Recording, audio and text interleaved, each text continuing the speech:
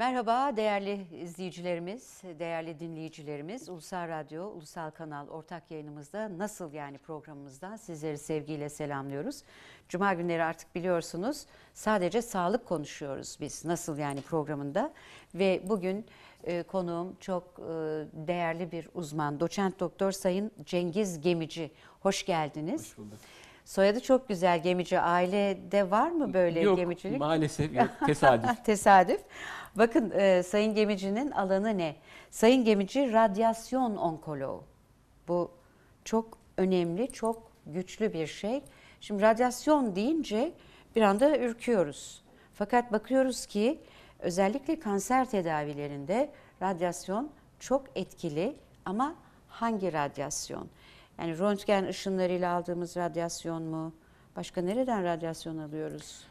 E, radyasyon aslında doğal ortamda var olan bir Var. şey. Hmm, E, topraktan, güneşten, evet. e, etrafımızdaki elektronik e, aletlerden biz e, farkında olmadan radyasyona maruz kalıyoruz. Evet, evet. E, tabii e, radyasyon onkolojisinde kullandığımız radyasyon tedavi amaçlı kullanılan radyasyon. E, radyasyon e, aslında ismi korkutan bir şey olmakla Evet. beraber yani e, maruz kalındığında kansere yol açan bir etken olmakla Evet. beraber Evet. e, çelişkili olarak da aynı anda kanser tedavisinde de oldukça etkili ve sık kullanılan bir tedavi metodu. Evet, evet. Radyoterapi radyasyonu kullanarak kanserde kullanılan ya da yapılan tedavi manasında e, diye bahsedilebilir. evet. De bahsedilebilir. Şimdi bedenin her yerinde uygulanabiliyor mu? Evet, e, şimdi e, önemli olan tümörün öncelikle evrelendirilmesi. Yani Hmm. kanser hastası karşımıza geldiğinde hastalığın evresi nedir? E, biz biliyorsunuz e, dört evrede e, evrelendiriyoruz kanseri. Öyle. Evre 1-2 erken evre, evre 3 ileri evre, evre 4 son yaygın Son metastatik yaygın evre evre. dediğimiz evre. Hmm. Radyoterapi ya da radyasyon e, bu evrelerin tamamında kullanılan bir tedavi modalitesi. E, yapılan çalışmalarda %70 ya da 80 tüm kanser olgularında tedavileri boyunca radyoterapi kullanılan bir tedavi. Evet. Bu çok çarpıcı. Yani e, peki dördüncü evrede artık kullanıyor musunuz? Dördüncü evrede özellikle kullanıyoruz. Öyle mi? Evet. Çünkü dördüncü evre dediğimiz nedir? Kemik ya da beyin gibi kritik organlara sıçrayan tümörler. Ve bu bölgelerde en etkili tedavi aslında radyoterapi. Tedaviden amaç Hı hı. semptomatik iyileşme. Kemik metastazlarında ağrıların yok edilmesi ki kemik metastazları Çok ağrılı oluyor Evet, öyle mi? oldukça ağrılı. Morfine bile cevap Oo, vermeyen ağrılar olabiliyor. Evet. Ee, radyoterapi kemik metastazlarında oldukça faydalı ve etkili bir tedavi. Keza beyin metastazlarında artık biz beyin metastazlarının tedavisinde sınırlı sayıda olan metastazlarda bir ya da üç arası eskiden beyin cerrahisi tarafından metastetektomi yapılıyor idi. Yani, Yani? cerrahi olarak bu tümörler beyinden çıkartılıyordu. Hmm. Ama günümüzde radyoterapideki gelişmeler ve stereotaktik radyoterapi dediğimiz tedavi modalitesiyle cerrahiye gerek kalmadan Öyle mi? sadece ışınlar ile bu tümörleri sanki cerrahın neşteriyle çıkarıyormuş gibi ışın demetleriyle bulunduğu yerde yok ediyoruz. Yani Aa, beyni çok- açmadan ya da aynı şekilde Hastanın e, yaşam kalitesini de bozmuyor bu Evet, özellikle. evet. Aman ne olur yani kontrolleri çok iyi yaptıralım ki e, kimse de olsun istemeyiz. Fakat e, önemli olan ilk evrede yakalanması. Tabii e, Değil mi? şimdi e, klasik bir e, söz vardır. Hani kanserden korkmayın, geç kalmaktan Maktan korkun. korkun, Yani bu evet. gerçekten çok önemli. Evet. Çünkü kanser tedavi edilebilen bir hastalık. Ama ne zaman? Erken tanı konulduğu zaman. E, bu çoğunlukla mümkün olmuyor Evet. maalesef. E, burada e, öncelik kişinin kendini tanıması, bilmesi, anormal bir bulguyu, herhangi bir değişikliği vücudunda hemen önemseyip üzerine gitmesi ve bununla ilgili e, bir hekime danışması. E, bu çoğunlukla göz ardı edildiği için yarın geçer, düzelir, daha Ya, önce de evet, vardı, geçer evet. şeklinde yaklaşımlar maalesef kanserin evresini atlatmaya yol açıyor. Zaman Evet. kaybına yol açıyor ve hastalığın bulunduğu yerden kana karışarak metastaz aşamasına geçmesine yol açabiliyor. Zaman çok önemli, erken tanı çok önemli. Eğer biz kanseri erken tanıyabilirsek şifa ile tedavi edebiliriz. Çok güzel bu. Erken tanıyabilirsek dediniz. Şimdi o zaman sorayım. Diyelim ki bir akciğer tümörü, beyin tümörü dediniz, gözde olabiliyor değil mi? Yani bedenin herhangi bir yerinde Evet. sürpriz Evet. çıktı. Bütün bunlarda neştere gerek kalmadan radyoterapiyle, özür diliyorum, radyasyonla Radyoterapi doğru. Radyasyon ya da radyoterapi. öyle mi? Doğru Ee, mu söyledim? Evet yani tedavi e, edici kısmını radyoterapi olarak adlandırıyoruz. Evet. Radyoterapi ile tedavi edebiliriz dediğiniz çok doğru. Teknolojik gelişmeler e, sayesinde artık radyoterapiyi biz çok kritik yerlerde Evet. bile uygulayabilir hale geldik. Evet. Aslında radyasyonun tedavi edemeyeceği ya da öldüremeyeceği hiçbir tümör yok. Ancak ne var? Normal dokuların radyasyon hassa- hassasiyeti nedeniyle e, radyoterapiyi çok yüksek dozlarda uygulama şansımız yoktu. Ama teknolojik imkanlar sadece tümöre hedefli radyoterapinin artık günümüzde uygulanabilir hale gelmesini sağladı ve bu sayede biz kritik organları, tümörün yerleştiği bölgedeki kritik organları koruyarak örneğin bir beyin kafatası, göz, göz arkası e, bu bölgelerdeki tümörleri sanki bir cerrah gibi neşterle sadece tümörü açmadan, ameliyat etmeden e, tedavi etme imkanına sahibiz. Bugün e, radyoterapi e, bu sayede çok önemli bir e, tedavi modalisi haline gelmiş bulunmakta ve birçok tümörlere cerrahi yerine biz radyoterapiyi önerme durumundayız. Aa, tabii e, değerli seyirciler, değerli dinleyiciler e, bu radyo ve televizyon ortak yayınımızda çok önemli bir konuyu e, Sayın Cengiz Gemici'den öğreniyoruz. Doçent doktor ve radyasyon onkoloğu. Bakınız bir teşhis konduğunda dilimde varmıyor. Yani burada e, istenmeyen tümör var, kanserli tümör dendiğinde e, cerrahi tedaviden önce mutlaka radyasyon e, tedavisini e, denemek mi gerekiyor? Şöyle Nasıl hasta yönlenecek? yanlış yönlendirmeyelim. Evet, yanlış E, yönlendirmeyelim. Yani ne Kanserde, olacak? kanserde günümüzde hala en etkin tedavi cerrahi. Cerrahi. Şifa sağlayıcı manada. Ancak teknolojik gelişmeler sayesinde Evet. radyoterapi de cerrahiye bir alternatif tedavi haline geldi. Birçok e, tümörde biz e, cerrahi yerine radyoterapiyi uygular duruma geldik. Burada önemli olan tümörün türü, tümörün evresi, tümörün yerleştiği yer ve bütün bunların neticesinde doğru yapılmış bir evreleme sonrası multidisipliner konseylerde cerrahın, patoloğun, medikal onkoloğun, radyasyon onkoloğun olduğu konseylerde hastalığın tartışılıp o konsey kararı ile en iyi kararı, tedavi kararını vermek. Vermek.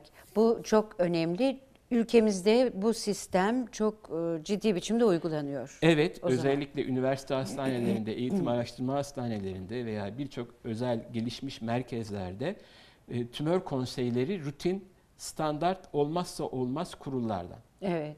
Ve- Yani tek bir hekim karar vermiyor Evet, hastanın Evet, hangi e, Evet. Tür tedaviye e, ihtiyacı olduğunu. evet. Çünkü Mutlaka bir konsey kararı çıkması çünkü lazım. kanser tek bir hastalık değil ya da tek bir branşı ilgilendiren bir hastalık değil.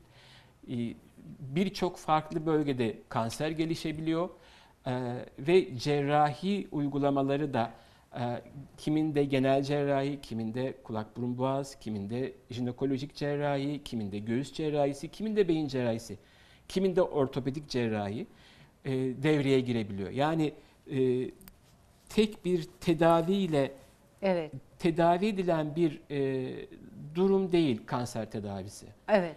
En uygun tedavi hangisiyse ama ağırlıklı Evet. olarak siz beyinde ulaşılamayan Evet. tümörlerin tedavisinde büyük başarı elde edildiğini Evet, stereotaktik radyoterapi söylüyorsunuz. ilk Evet. beyin tümörlerinde uygulanmaya başlandı. E, çünkü beyin cerrahisi çok gelişmiş bir branş olmakla beraber hala kritik bölgede yerleşmiş tümörlere cerrahi olarak ulaşma şansları yok. nörolojik arazların e, ameliyat sonrası oluşabilme riski açısından ve radyasyon onkolojisindeki gelişmeler sayesinde artık biz beyin cerrahlarının yerini alabiliyoruz bazı tümörlerde. Ha, evet. E, ışın ile o bölgeye hedeflenmiş ışınlar ile biz bunu stereotaktik radyoterapi olarak adlandırıyoruz. Kritik organları koruyarak, etrafındaki nöral yapıları koruyarak, sinirleri koruyarak sadece oradaki tümörü yok edebiliyoruz. Yani sanki ışın kılıcıyla bir cer- cerrahın neşteri gibi o bölgeyi ışınlarla tedavi edebiliyoruz, yok edebiliyoruz.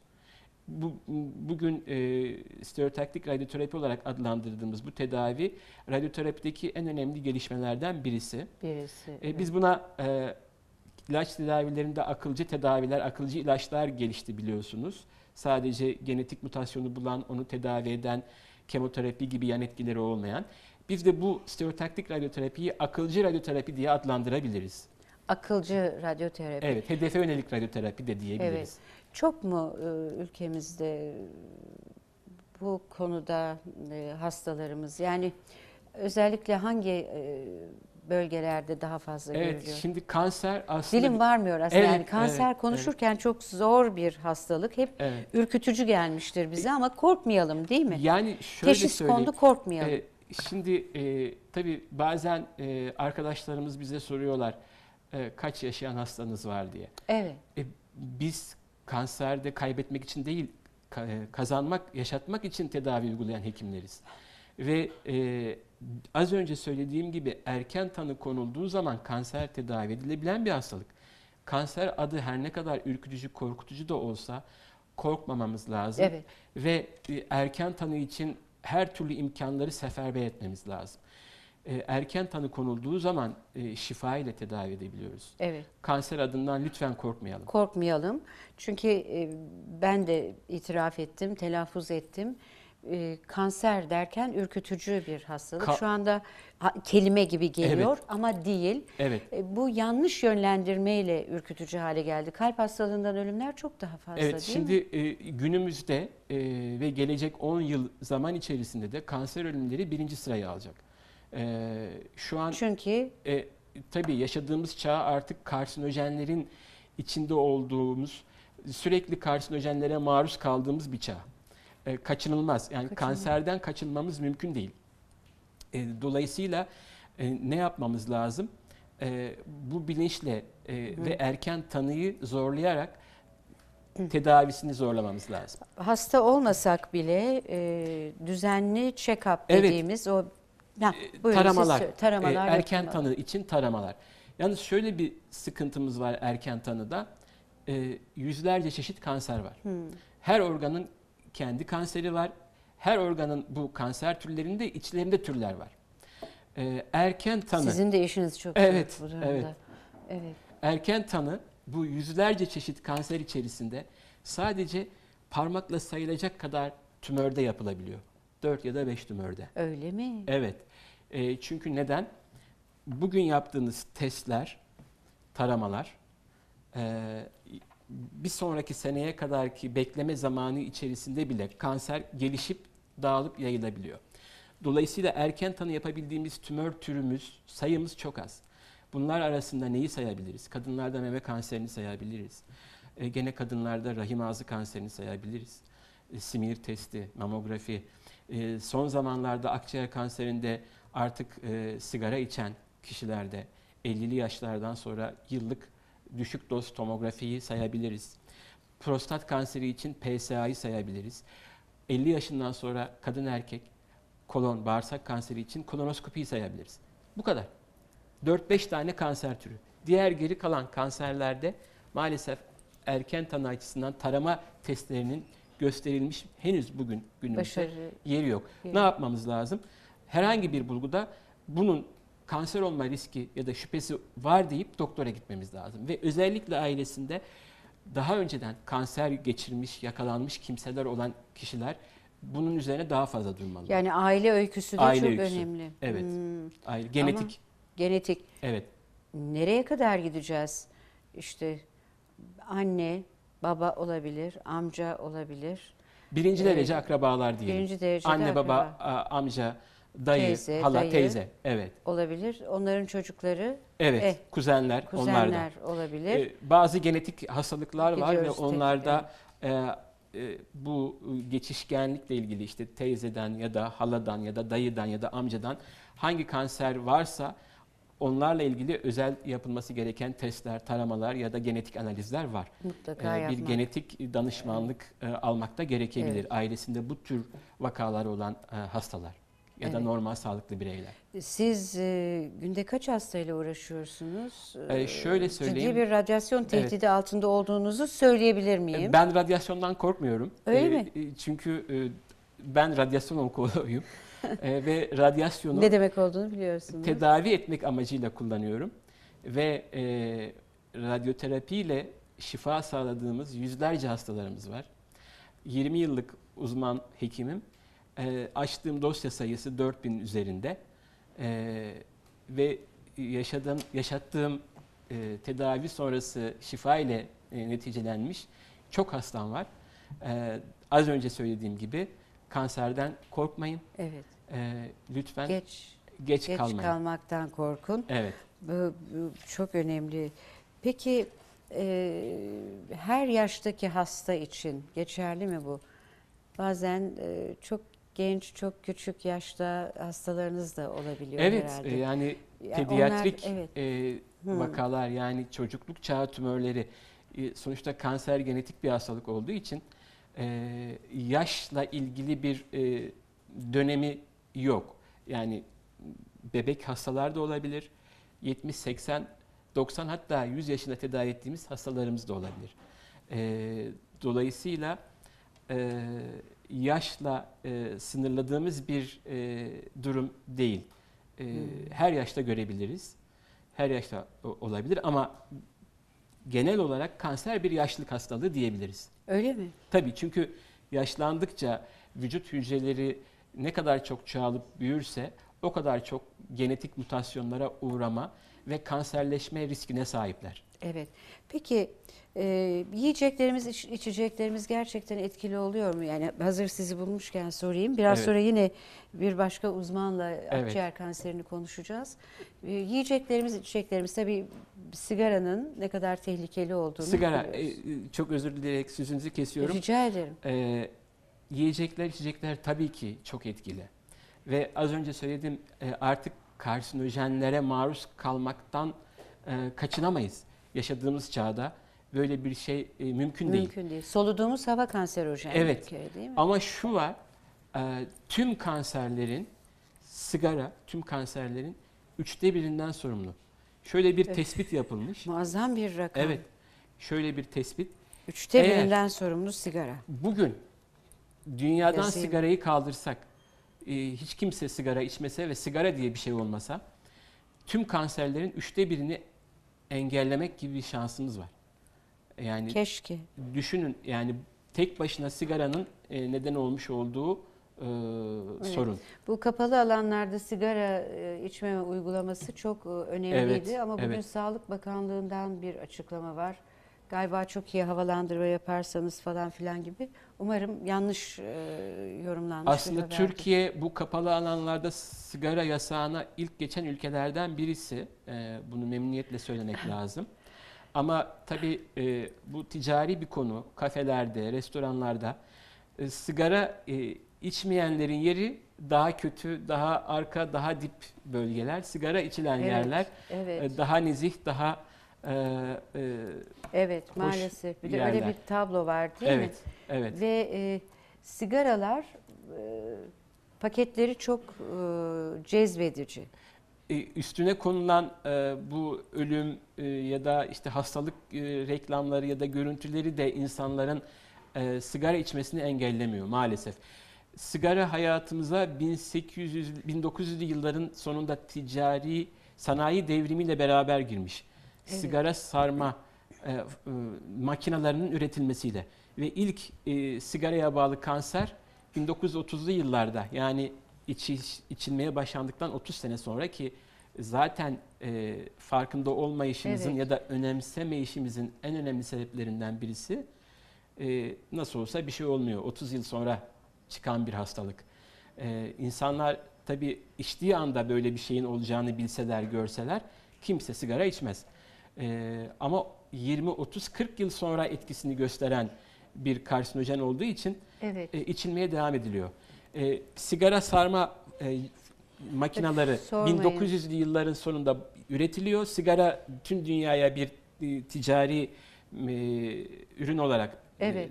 y- yayılıyor ve 1930'lu yıllarda ilk akciğer kanserleri sigaraya bağlı bildirilmeye başlanıyor 30 yıl sonra. E, dediğim gibi eğer dünyadan şu gün itibariyle sigarayı kaldırsak tüm kanser ölümlerinin üçte birini önleyebiliriz. önlemiş oluruz, önleyebiliriz ya Evet. da. Ee, Bazıları da şöyle şey- şeyler söyler. İşte babam bilmem kaç E, Evet, kaç doğru. zamandır Evet. e, sigara içiyor, hiç kanser içiyor, olmadı hiç ya da kanser olmadı, Evet. her gün bir paket bitirir vesaire. bu, Bu doğru, çok kötü. bu doğru ama nasıl doğru? Şimdi her e, bünye aynı değil. E, Evet. yani maruz kaldığımız toksinleri e, vücudumuz detoksifiye ediyor. Yani yok ediyor. Yok ediyor. E, ama bunları yok eden mekanizmalarımız sizden bana, benden başka bir kişiye farklı. Kimimiz daha iyi yok edebiliyor, Evet, kimimiz daha az yok edebiliyor. Yani Evet. bu vücudumuzun genetik yapısıyla da ilgili. evet, Ee, evet. e, tabii ki her sigara içen kanser olmuyor. Evet. Ee,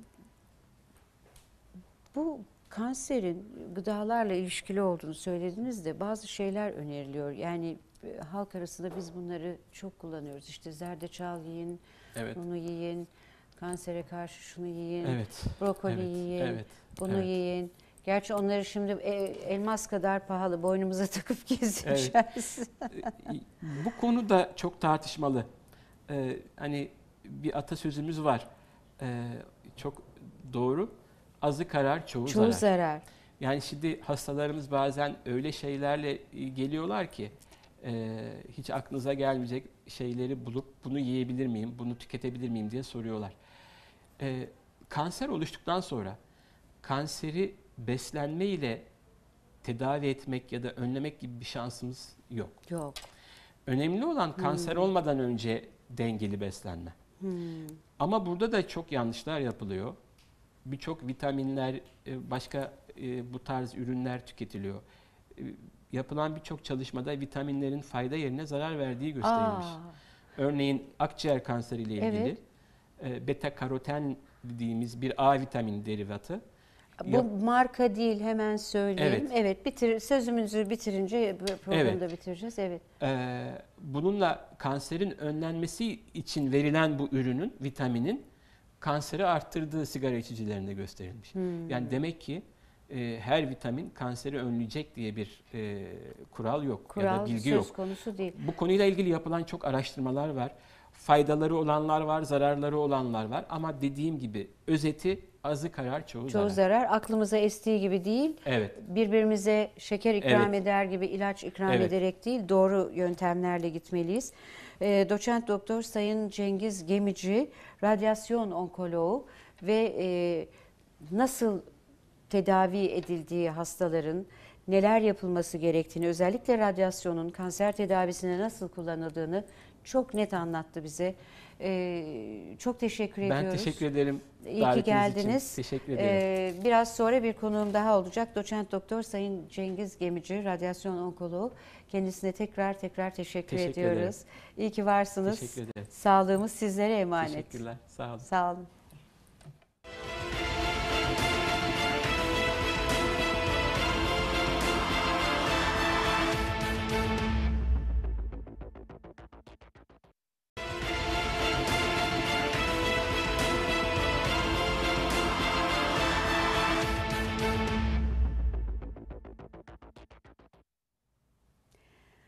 Ve devam ediyor. Ulusal Kanal'da nasıl yani programımız çok değerli bir e, hekimimiz burada. Profesör Doktor Sayın Taflan Salepçi. Hoş geldiniz Sayın bulduk. Salepçi. Sizi burada yeniden görmek ne mutluluk. Teşekkür ederim. Ee, Sayın e, Salepçi onkoloji, tıbbi onkoloji uzmanı. Daha önce ilaçları konuşmuştuk. Değil mi? Yeni e, ilaçlar, yeni yöntemleri konuşmuştuk Evet. bir süre yayınımızda. Bugün de akciğer kanserinin tedavi yöntemlerini konuşalım Evet. istiyoruz. Nedir akciğer kanseri? Akciğer kanseri zaten bütün kanserlerin ortak özelliği sınırsız e, bir hücre çoğalmasından ibaret Evet. hastalık. Burada akciğerden kaynaklanan hücrelerin sınırsız çoğalması söz konusu. E, hastalarda nefes darlığından başlayan işte öksürükle kan gelmesi, yan ağrısı gibi semptomlarla ortaya çıkan bir grup e, hastalıkların ortak ismi. Ee, akciğer kanserleri temelde ikiye ayrılıyor. Küçük hücreli ve küçük hücreli dışı diye. Küçük hücrelilerde genel olarak cerrahi tedavinin pek yeri yok. Ancak küçük hücreli dışı olan akciğer kanserlerinde hala tercih edilen tedavi özellikle erken ev- evrelerde Evet. cerrahidir. Ve eğer erken yakalanabilir ise e, hastaların e, %50'sinden fazlasında tam şifa yani 5 yıldan uzun sağ kalım elde etmek Hmm. mümkün olabiliyor. Ancak e, akciğer kanserinde maalesef hala elimizde e, bu erken evrelerde hastalığı tanıyacak e, çok yeterli olan e, teşhis metotları yok. O nedenle hastaların ciddi bir kısmında evre 3B ya da 4 yani cerrahinin artık işe yaramayacağı evrelerde hastalığın tanısı konuyor. Ee, bazen tam sınırda e, yakalanıyor hastalık. Yani belki biraz küçültülse e, cerrahi olabilir Hmm. diye düşündüğümüz hastalar. Evet. Bu grupta e, hem radyoterapinin hem de birlikte uygulanacak kemoterapinin hastalığı küçültmesi ve cerraha e, bir Hmm. imkan tanıyacak e, evreye taşıması hastalığı mümkün olabiliyor. E, ama evre 4'ten sonra e, cerrahinin yeri aslında hiç yok değil. Evet. Bazı durumlarda e, ciddi hayatı tehdit eden durumlarda cerrahi hala e, rol oynayabilir ama ağırlıklı olarak e, medikal onkolojinin ve radyasyon onkolojisinin e, tedaviye katıldığı bir evre oluyor evre 4. Hmm, Evre 4. Dördüncü. Dolayısıyla Evet. e, akciğer kanserinde e, tedavide 5 yıl ve ilerisini hedeflediğimiz e, hasta sayısı e, ana hasta popülasyonuna bakıldığında daha az ama artık özellikle küçük hücreli dışı akciğer ka- e, kanserlerinde e, belli özel mutasyonların varlığında bu mutasyonlara özel ilaçların kullanılmasıyla 3 yıllık, 4 yıllık, 5 yıllık sağ kalımlar hayal değil. Yani artık ileri evrelerde bile e, tümörün genetiğine inmek gerekiyor ve Hmm. bu genetik yapıda e, bazı ilaçlardan fayda görebilecek mutasyonları tespit edebilirsek EGFR, ALK, ROS1 gibi buna spesifik ilaçlar vererek hastalığı uzun süre kontrol altında tutmak mümkün olabiliyor. E, cerrahiden önce. Yo cerrahi her zaman için en azından tanı aşamasında bizim vazgeçilmez e, Evet. girişimlerimizden biri. Yani e, bazen diagnostik e, girişimleri radyoloji de yapıyor ama cerrahlara her zaman tanı aşamasında, bazen evreleme e, aşamasında muhtaç durumdayız. Evet. Dolayısıyla için cerrahi de her zaman için e, ileri evrelerde dahi rol oynayabiliyor. Evet. Şimdi bu e, hastalığa yol açan nedenleri de galiba konuşmak lazım. Tedavide e, bunlar da önemli olsa gerek.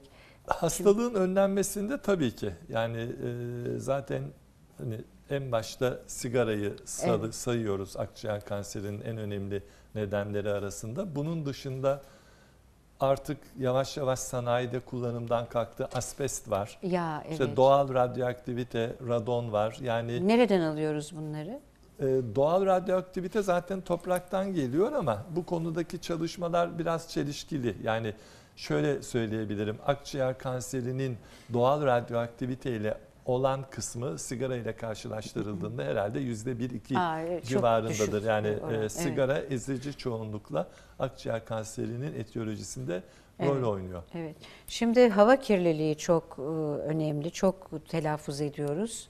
E, hava kirliliği de yani o soluduğumuz havadaki metaller, ağır metaller, zehirler her neyse sadece akciğeri değil herhalde her her yeri tehdit ediyor olsa gerek. Her yeri tehdit ediyor. Bir de hava kirliliği ile ilgili şunlar söylenebilir. Çoğu şehirde e, hava kirliliği dönemsellik arz ediyor. Kışın işte özellikle kömür yakıldığında ya da başka şekilde Evet. ısınıldığında rüzgarsız havalarda e, insan için toksik olacak e, maddeler izin verilen e, düzeylerin kat kat üstüne çıkıyor ve zaten gösterilmiş ki bu tür e, durumlarda özellikle yaşlı koahlı insanlarda ölüm görülme olasılığı artıyor. Çok artıyor. evet. Dolayısıyla hava kirliliğini sadece kanser nedeni olarak düşünmemek lazım.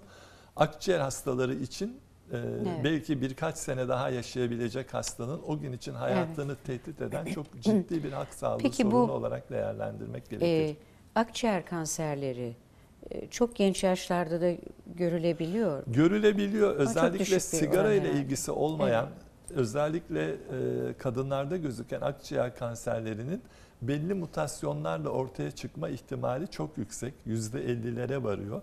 Özellikle genç ve sigara içmeyenlerde özellikle adenokanser alt tipinde genetik araştırmaların mutlaka yapılması lazım. Çünkü burada ortaya çıkmış mutasyonların yol açtığı süreçleri engelleyen yani kansere giden süreci ya da kanserli hücrelerin çoğalma sürecini engelleyen ilaçlar var şu anda Evet. elimizde. Peki e, biraz önce çok e, değerli bir hekimle birlikteydik. E, Dedi ki yüzlerce kanser türü var. Doğru. Keşfedilmiş olan ilaçlar, siz e, tıbbi onkoloji uzmanı olduğunuz için keşfedilmiş olan ilaçlar e, her tür üzerinde etkili olabiliyor mu? Sayı sınırlı değil mi bu ilaçlar? Ee, maalesef sınırlı çünkü mutasyonun yol açtığı e, metabolik süreci engelleyecek ilaçlar olması lazım. Her kanserde farklı farklı olabiliyor ama bazen kanserlerin ortak e, noktası da olabiliyor. Örneğin e, gastrointestinal stromal tümörler dediğimiz mide bağırsak sistem kaynaklı bir tümör grubunda kullandığımız imatinib etken maddeli ilaç aynı zamanda kronik miyolojen löseminin de tedavisinde Yani kullanılıyor nedir ve her o? ikisinde de çok çok başarılı, Başarılı. sonuçlar elde Ne güzel. ediliyor. Evet. Birbirinden tamamen farklı hastalık grubu ancak aynı mekanizma etkili olduğu için aynı ilacın birbirinden çok farklı hastalık gruplarında çok başarılı olarak Evet. kullanabiliyoruz. Ee, şimdi çok yeni, e, daha önce de bahsetmiştiniz herhalde onlardan bahsetmemizde bir sakınca olmasa gerek. Çok yeni yöntemler gelişti değil mi? Çok yeni ilaçlar var Tabii ve ki. çok etkili ilaçlar var. Artık eskisi gibi değil. Eskisi gibi değil ancak maalesef her hasta için özel bir ilaç tasarlanabilmiş değil. Değil, Yani evet. e, sık görülen mutasyonlar ve bu mutasyonların yol açtığı kanserler için Evet. geliştirilmiş ilaçlar var. Evet. Ama belki yıllar sonra hani kişiye özel ilaç geliştirilmesi de mümkün olabilecektir. Çünkü e, gerçekten bu konuda araştırmalar, geliştirmeler baş döndürücü hızla devam ediyor. E, tahmin ediyorum 10-15 yıl sonra onkoloji pratiği başka bir zeminde icra edilecek. Ama şu anda e, ulaştığımız nokta da 10 yıl 15 yıl öncesinden Hmm. çok farklı Çok bir yerdeyiz. çok farklı. Çok. Bizde e, yapılıyor mu kanser araştırmaları? Yani Türkiye'de bu konuda Türkiye'de de yapılıyor var mı? elbette ancak e, bu işin e, maalesef finansmanı ve hukuki altyapısı tümüyle oluşturulabilmiş Hmm. değil. E, gerçekten milyar dolarlar harcanıyor Evet. E, ve insan üzerindeki araştırmalar için çok ciddi kısıtlamalar var haklı daha olarak. çok Amerika yapıyor galiba bu araştırmaları. Değil mi? Evet. İsrail, Rusya böyle duyuyoruz ama İsrail'de de çok ciddi araştırmalar Çin. yapıldığını duyuyorum. E, Çin için çok bilgim yok. Yani bu Çünkü, konuda bir şey e, söyleyemeyeceğim. tanıdığım e, çok önemli isimler, e, bunların içinde hekimler de var. E, bazı tedavi yöntemleri var vesaire diye Çin'e gittiler ama sonuçta e, O birkaç yıl önce gerçekten moda olmuştu Moda, ama bu moda. geleneksel Çin tıbbı için Ha, gitmemişti değil. onlar. Bir virüs tedavisi yapıyoruz demişlerdi. Yani virüslerle kanserin genetiğini değiştiriyoruz. Biliyorsunuz virüsler hücre içinde Evet, çoğalan evet. e, canlılar. E, virüsün genetiğini değiştirerek kanser hücresinin genetiğini değiştirmesini sağlıyoruz demişlerdi. Gerçekten umut vadeden çalışmalarda ancak klinik uygulamalarda ciddi sonuçlar alamadık. Evet. Ee, bu sizin yaptığınız tedavinin e, yöntemi ne? Nasıl bir tedavi yöntemi uyguluyorsunuz özellikle akciğer kanserlerinde? Özellikle e, tanı konduğu anda patologlardan yardım istiyoruz. Bazen genetikçilerden yardım Evet. istiyoruz. E, kanserin genetik haritasının çıkarılmasını istiyoruz. Özellikle Hmm. tedaviye cevap veren mutasyonlar açısından taranmasını istiyoruz. Biraz önce de söylediğim gibi EGFR, ALK, ROS1 mutasyonları şu anda bu mutasyonların vardığında kullanılacak ilaçlar olduğu için mutlaka araştırılması gerekiyor. Ve hastaların %20 kadarında bu mutasyonlardan birini tespit ediyoruz ve ona yönelik ilacını veriyoruz ve 6 ay 1 sene arasında olan bu radyoterapi, kemoterapi ile giden sürecin tersine günde bir tane veya iki tane hap alarak yıllar boyu hastanın yaşaması sağlanabiliyor. Sağlanabiliyor. Bu tedavi klinik ortamda mı yapılıyor yoksa Evinde. e, belli ilaçları veriyorsunuz evinde, Tabii de- evinde devam diğer ediyor. ilaçları, tansiyon ilaçlarını, şeker ilaçlarını kullanır gibi hastalar bu ilaçları da alıyorlar. Ancak biraz önce söylediğim gibi her kanser hastasında aynı tedavi yapılmıyor. Her akciğer kanserinde de aynı mutasyonlar yok. Yani kanser hastalarının şu anda aslında hepsinde aranırsa bir takım mutasyonlar bulunuyor ama tedaviye cevap veren mutasyonları yakalamak Evet. önemli olan. Bu Peki, da ancak %20'sinde mümkün oluyor. Kemoterapiyi çok e, ağırlıklı olarak duyuyoruz. Yani kemoterapi, biz biraz önce radyoterapiyi konuştuk. Kemoterapi, e, sizin yaptığınız e, tedavi yöntemi kemoterapi gibi değil anladığım Yo kadarıyla. şimdi biz e, elimizde ne varsa onu kullanıyoruz kansere karşı. Dolayısıyla klasik kemoterapi ilaçlarıyla yapılan tedaviler Hı hı. vazgeçilmiş tedaviler değil. Evet. Daha iyisini bulduğumuz zaman elbette ki bunları terk Tabii. edebiliriz. Çok toksik olduklarını biliyoruz. Ancak batıda yapılmış araştırmalar bizi şunu söylüyor. Ee, Batı'da hastalarla net bu konular konuşulduğu için bütün toksisiteler anlatıldığında hastalara iki aylık bir sağ kalım avantajı için kemoterapinin bütün yan etkilerine rıza gösteriyor hastalar. Dolayısıyla e, iki ay, üç ay, dört ay için e, yani insanlara kemoterapi yapılır mı sorusunun cevabı e, bu konuda hem doktorlar istekli hem hastalar istekli. Yani kim bir nefes daha fazla almak istemez Evet. ki yeryüzünde. Dolayısıyla yapılan işi küçümsememek lazım. Bazen kat, e, katkımız birkaç ayla sınırlı oluyor ama bu birkaç ay içinde insan insan hayatı açısından çok çok önemli diye düşünüyorum. Evet. Ee, ülkemiz bu tedavi yöntemleri içinde, bu tedavi konusunda çok yol almış bir ülke değil mi? Yani duyuyorum Genel işte yok, olarak Şimdi bir mesaj var mesela Küba kanser tedavisinde en önde diye. Bunlar e, duyumlar. Şöyle evet. Küba kanser Türkiye'de hepsi aşı diye uygulanıyor ki. bildiğimiz tedaviler konusunda gerçekten öncü çalışmalar Hı. yaptı. Ve bu konuda e, Batı dünyasının da hani e, gözündeki perdeyi kaldırdı diyebilirim ve e, çok ciddi araştırmalar yapıldı ve kanser tedavisinde yeni bir ufuk açıldı.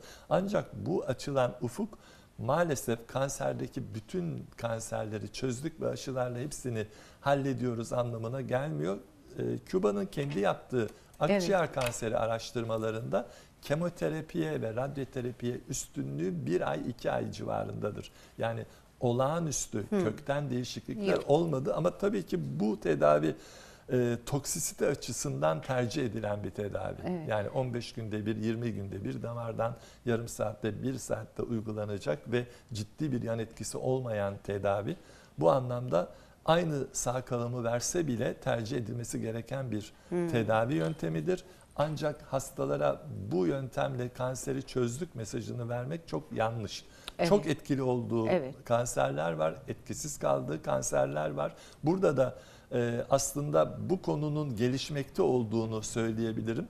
E, yani Türkiye'de. kans- Tü- Türkiye'de de bütün dünyada, Dünyada, da evet. daha yani her hastaya verilecek ve her hastanın faydasını beklediğimiz bir tedavi yöntemi değil ama Evet. önemli ciddi bir ileriye doğru atılmış adımdır. Evet.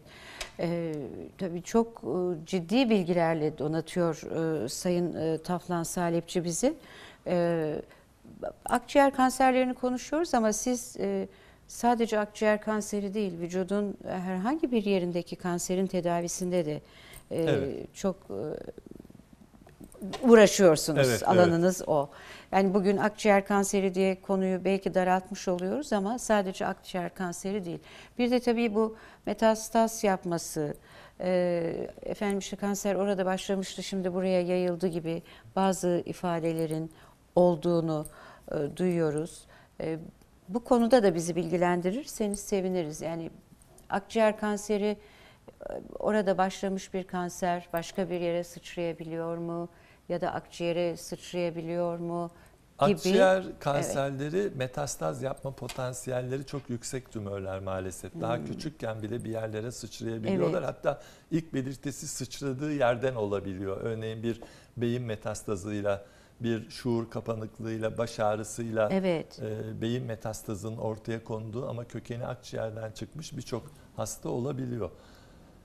E, ancak metastazların varlığı dahi hastaya bir şey yapılamayacağı anlamına gelmiyor. Gelmez. İşte özellikle radyoterapideki gelişmeler kemik beyin metastazlarında e, bunların cerrahi müdahalesiz ciddi bir şekilde kontrol altına alınabilmesi, gerekirse cerrahi müdahalenin yapılması, hastalara birçok şey yapmak mümkündür. Ancak her zaman hastalara da tam bir şifa sağlamak mümkün olmayabiliyor. Ancak şimdi tıbba genel olarak baktığımızda tam şifa sağlanmıyor ise boşa kürek çekiliyor diye bir şey e, mesaj vermek son derece yalnız. Çünkü diyabetliklerde, hipertansiyonlarda Hmm, tam şifa sağlanmıyor olması bu hastalıkların tedavisiyle uğraşılmaması gerektiği anlamına gelmiyor. Bazı Evet. hastada 4-5 ay, bazı hastada 4-5 sene sağ kalım avantajları sağlanabiliyor. Evet. Burada tedavi olup olmama kararlarını mutlaka onkologların vermesi gerekiyor. Onkolojiyle uğraşan hekimlerin vermesi gerekiyor.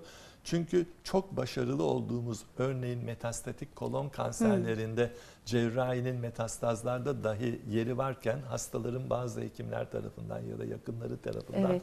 tıptan kaçırıldığını ve evde ölüme terk edildiklerini hala gözlüyoruz. Akciğer kanserlerinde de başka kanserlerde de evre 4 demek ki yapacak bir şey yok diye bir görüş kesinlikle yanlış. demek değil. Evet. Lütfen bunu da bir köşeye yazınız. Ee, her an hepimiz için önemli bilgiler bunlar. Ee, bugün ben çok sağlıklıyım demek doğru bir şey değil. Evet. Yarın ne olacağını bilemeyebiliriz. Çünkü ne zaman yakalayacağı meçhul Evet. e, bunların. Hücreler değişiyor değil mi? Evet. Başlıyor çoğalmaya. Evet. Canı sıkılıyor, çalışmaya başlıyor Evet. işte orada hücreler.